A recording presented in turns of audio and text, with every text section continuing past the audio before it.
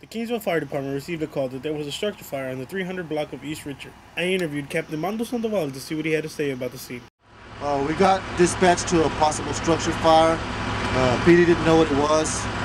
En route told us it might be in the alley, it might be a small structure. When we got here, we discovered it was a two-story structure. Uh, the back portion was on fire with smoke billowing out all four sides.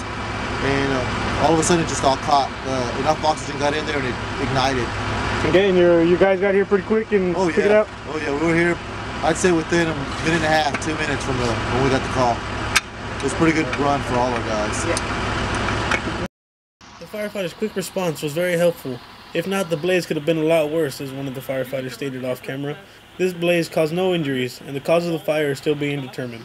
For Tamuk TV2, this is cameraman Agustino Devia reporting.